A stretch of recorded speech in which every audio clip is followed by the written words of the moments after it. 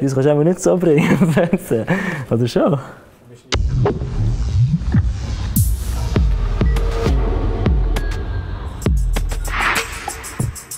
Aber du bist nicht verwandt mit dem Salatic, oder? Aber du bist nicht verwandt mit dem Salatic? Nein, nein, nein, nein, nein, nein Sataric heisse ich. Oh. Ich, will, ich gehe schnell schwitzen. Nein, er ist voll am Ausrasten in der Garderobe. So Krauen zeigen. So. So Krallen zeigen? Miau, miau. Oh mein Gott, Mann. Was? Du hast schon einen richtigen Spieler vor dir. Ich habe heute mein erstes Interview. Ah, wirklich? Und schon so frech? Ich komme von meinem schlimmsten Interview, das ich je hatte. Ja, herzlich willkommen zum schlimmsten Interview, das es gibt. Dieses Jahr haben wir uns gedacht, führen wir ahnungslose Spieler mal so richtig aufs Glatteis. Und zwar mit Hilfe von ihren Mitspielern und die tun sie so richtig fies pranken. Wir machen ein vermeintlich normales Interview, also Moderatorin interviewt Spieler. Aber im Hinterzimmer sind dann die beiden Mitspieler, die Jasmin via Knopfdruck fernsteuern können. Ungemütliche Fragen, fiese Insider-Infos und peinliche Aufforderungen. Also unseren Prankers war wirklich keine Grenze gesetzt und ich habe einfach alles schonungslos ausgeführt. Oh Mann, der hat uns besonders leid getan. Der Luca Christen wird heute prankt von seinen beiden Gespendli, vom Dario Kummer und vom Stefan Czanne.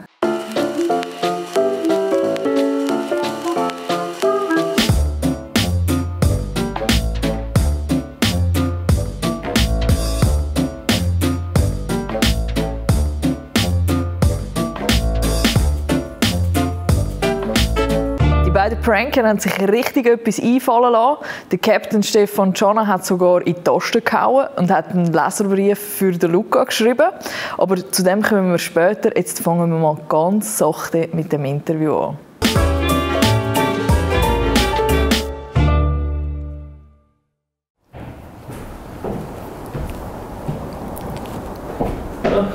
Hallo, Ist der pünktlich, hä?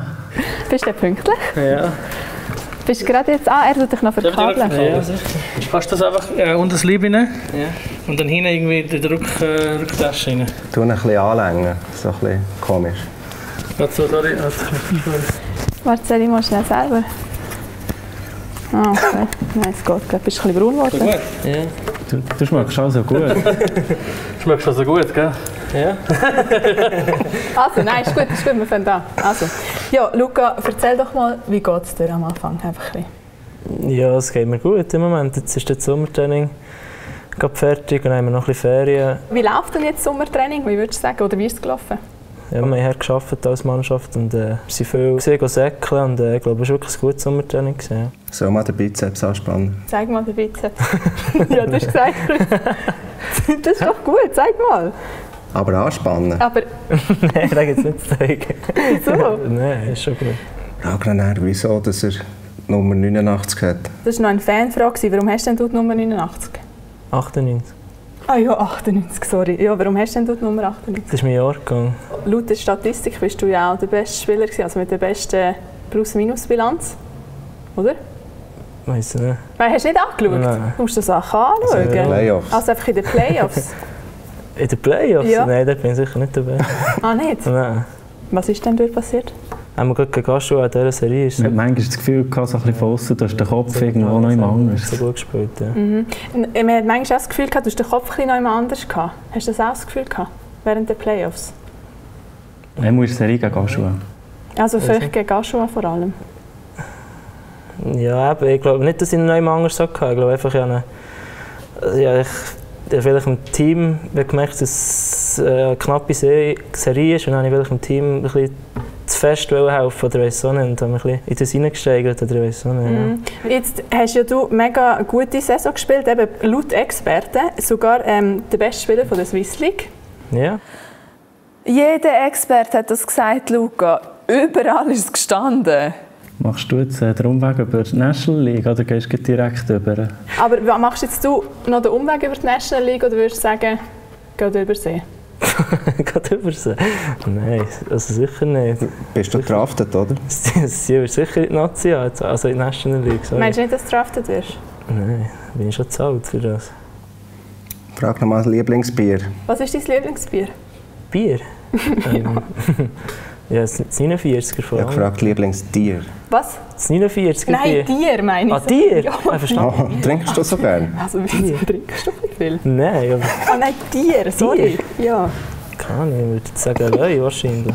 Eloi, Ja. warum? ja, einfach ist das grösste, also das mächtigste Tier.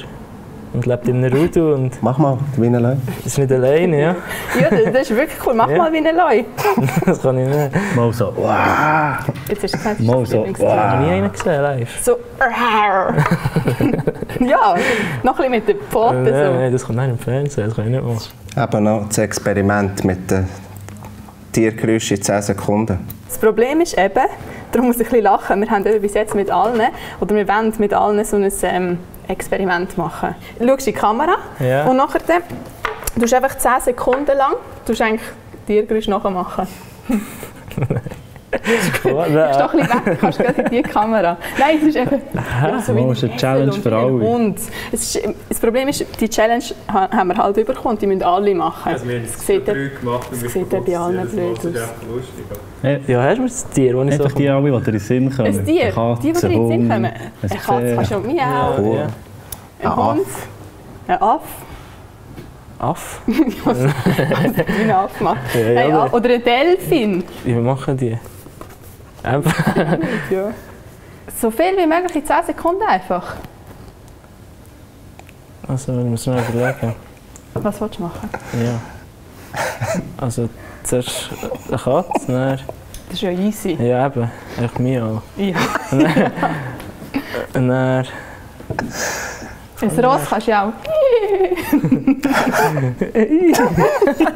Apfel.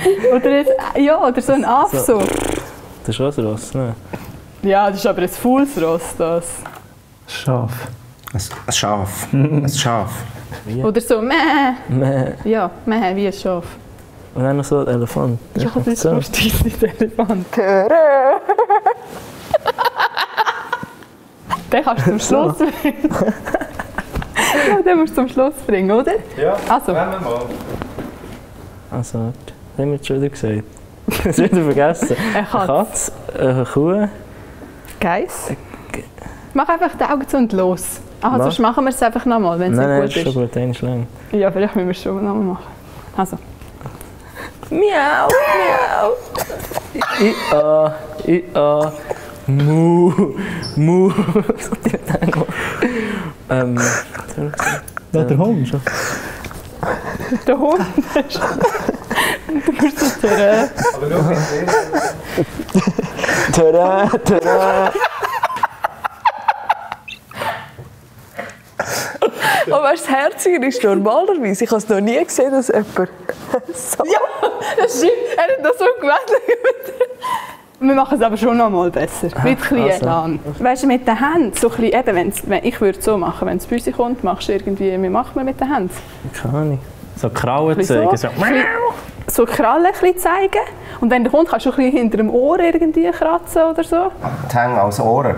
Oder die Hände als Ohren. Das kannst du auch. so. Also machen wir es nochmal. Machen wir es nochmal. Miau, miau. I, a, I, a. Ähm. Mu, mu. Tada, tada. Tada. Ah, fuck. Scheiße. Weißt du, Achtung. Sorry. Schon gut. Nein, die ist die Kamera kaputt. Go. Sorry. Nein, so eine Scheiße. Hey, fünf Mal hintereinander. Stopp, stopp. Scheiße.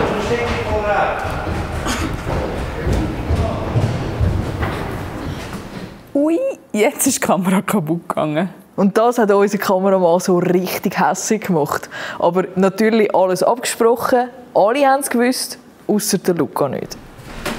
Aber das kann ich beim Essen machen. Hintereinander, weil die Kamera kaputt geht und es ist, es ist, wir kommen nicht an, irgendwie richtiges Material an besorgen. Also, wir gehen weiter. Wer ist die beste Buddy im Team? Dann gehen wir weiter, würde ich sagen, oder? Wer ist dein bester Kollege im Team? Würdest du sagen? Wir haben so eine Umfrage eben gemacht. Ja, pff.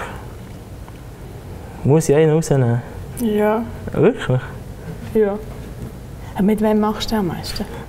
Zum Beispiel mit dem Niefler bin ich jetzt gerade in der RS gesehen und haben wir auch, oder habe ich auch früher angefangen Hockey und eigentlich immer mit Junioren zusammen gemacht, wie mit dem Weiss auch. Dein Name ist eben nicht erwähnt worden. Wir haben eben ja die Umfrage gemacht und es ist mega komisch, weil niemand hat wie dich gesagt. Ja, habe ich so gedacht, ob du ein kleiner Zicke bist oder so, dass niemand dich gesagt hat. vielleicht, ja, ich weiß nicht. Wirklich, würdest du sagen? Nein, Nicht, oder? nein. Okay, ich habe es nur ein bisschen komisch gefunden, Ja. aber ja. Machen wir das mit der Jubelpose? Wir machen hier den Einspann, weißt, wo so sagen, zum Teil sagen sie so, heute zusammen, da ist ähm, der Luca Christ oder so. Und bei dir wäre es einfach so, dass du müsstest jubeln. Dann wirst du so eingeblendet, wie du so jubelst. Ja, So wie er am Rücken würde, äh, viele Bogen holen Wie du würdest äh, zum Beispiel am Rücken einen Pfeilbogen holen. und dann schießen. Und nachher das schießen. das ist einfach so. Ja, Ja. top. Also. Genau so. Pium! Und dann musst du einfach noch ein bisschen... Yay. Muss ich merken? Ja, wie du würdest das entscheidende, ja. ja.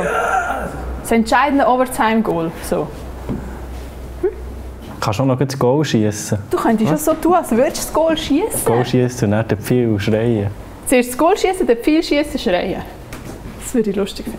Also gut finden. Ja, aber das Goalschießen sieht man ja nicht auf der Kamera. Das ist mehr für dich, weißt du, wegen der Emotionen. Das Feeling, so dass du ein gewisses Feeling hast.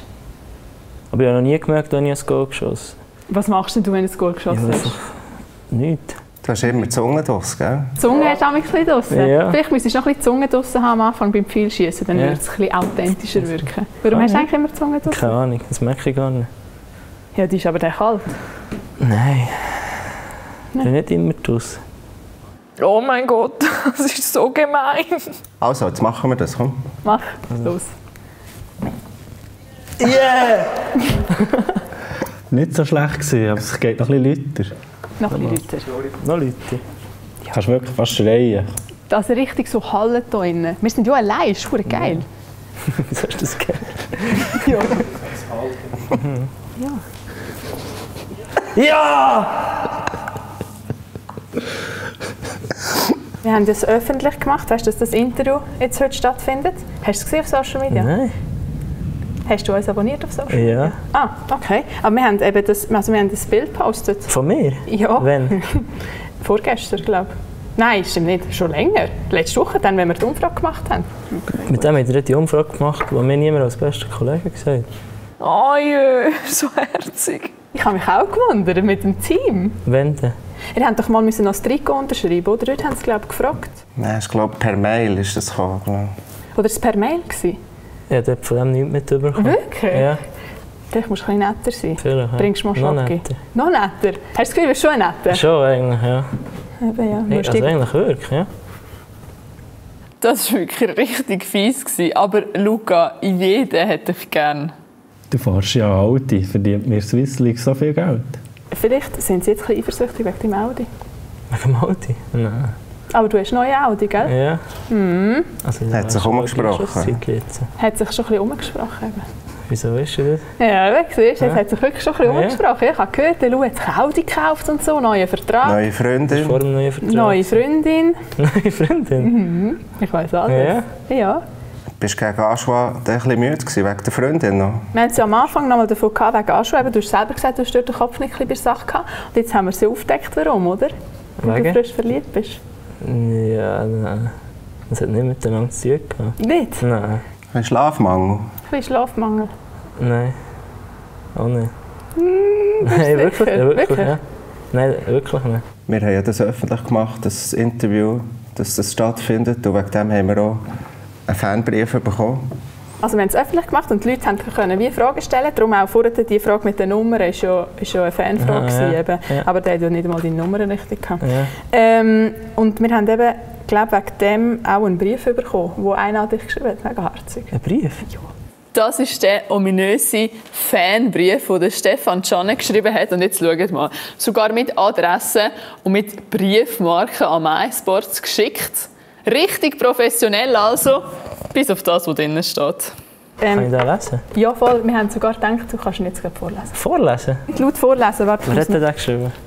Das weiß ich doch nicht. Krass, gell? Kannst du einfach laut vorlesen. Du musst wirklich vor die Kamera. Und laut. Ist gut. Laut, Weil dann ja. können wir wie ihm, weißt du, dann hat er mega Freude, wenn wir das sagen, dass Also. du es laut vorgelesen hast. Hallo Luca, mein Name ist Markus Kellermann. Ich bin 39 Jahre alt und wohne in Huttwil. Ich bin großer Fan von dir und bewundere deine Leistung sehr. Schade hat es nicht geklappt mit dem Meistertitel. Es ist, es ist extremer Dünnpfiff.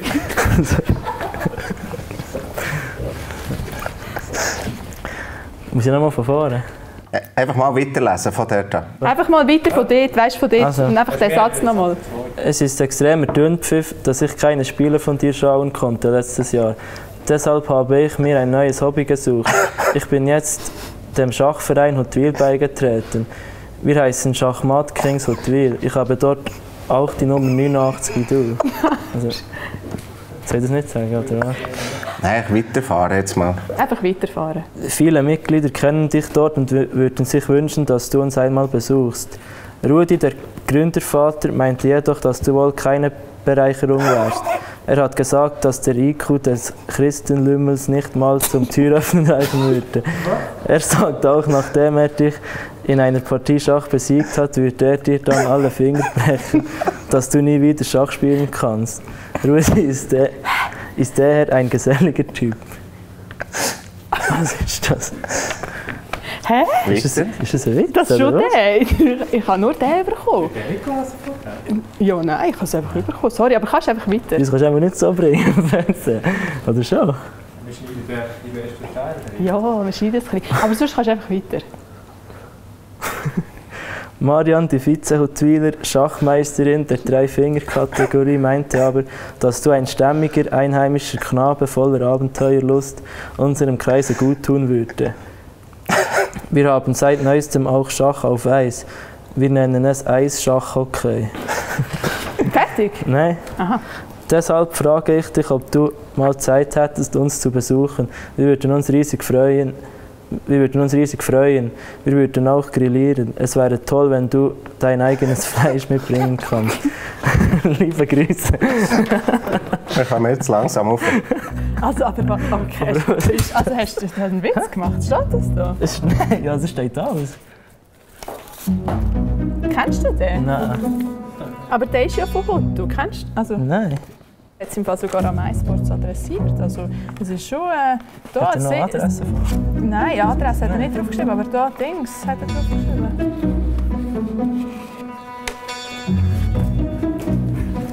Bist du schon mal ferngesteuert worden? Ich heute eben schon. Schon? ah, ja, Merci für die schönen Momente. Ja, schon gut. Alle die komischen Fragen, die du wahrscheinlich gedacht hast, denen, haben Ja. sie zwei mir übers Ohr gesagt. Und der Brief? Er geschrieben. Hast du geschrieben? Du bist eben geprankt worden, aber Ja, du kannst ihnen sicher irgendetwas heimzahlen. Ja. Vielleicht eine Runde mit dem Audi oder so. Lieber Luca, es tut uns wirklich leid, haben wir dich geprankt. Aber wir wären jederzeit bei einer Retourkutsche an deine beiden Gespendli dabei. Einfach anrufen oder einen Brief schreiben. Unsere Adresse hast du ja jetzt.